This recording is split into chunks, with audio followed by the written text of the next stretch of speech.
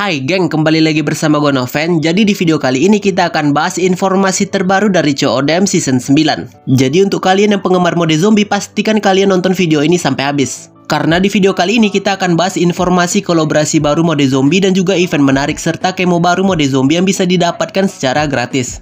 Jadi langsung aja kita mulai dari informasi yang pertama mengenai kolaborasi baru mode zombie yang akan segera tersedia di CODM. Dan kolaborasi kali ini CODM akan berkolaborasi dengan Alchemy yang akan dikhususkan untuk mode zombie geng.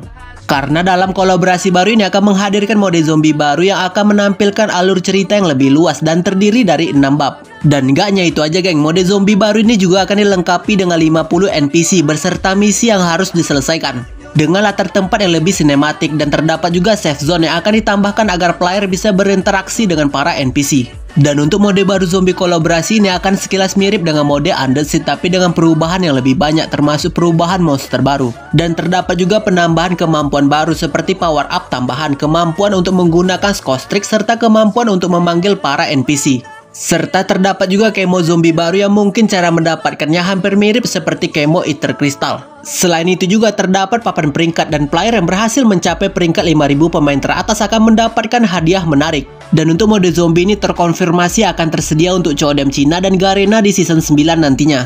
Dan bagaimana pendapat kalian tentang mode zombie baru ini geng? Coba beri pendapat kalian di kolom komentar. Dan di season 9 nantinya kita juga akan mendapatkan mode MP zombie baru yang bernama Hardpoint yang gameplaynya masih sama seperti mode hardpoint biasa tapi dengan penambahan zombie agar mode ini lebih menantang dan lebih seru dari mode hardpoint yang biasa. Dan sepertinya zombie akan menguasai CODM di season 9 nantinya ditambah lagi untuk tema season depan akan bertemakan Halloween. Sedangkan untuk skostrik baru season 9 adalah Flame Nut yang merupakan baju pelindung yang dilengkapi dengan senjata penembak api yang dapat membakar musuh yang berasal dari COD Vanguard.